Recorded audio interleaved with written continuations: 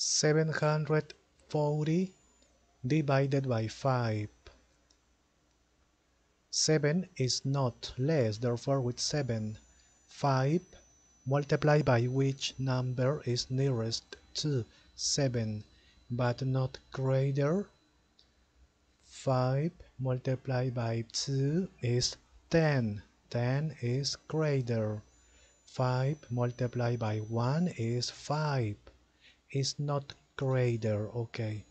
Subtract 7 minus 5 2 next 24 5 multiplied by 6 is greater. 5 multiplied by 5 is greater. Multiply by 4 20 is not greater okay.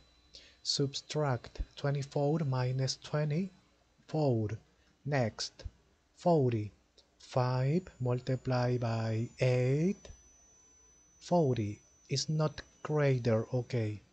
Subtract 0 next that is not number therefore finish it.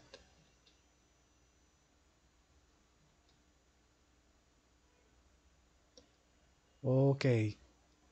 740 divided by 5 is 148 okay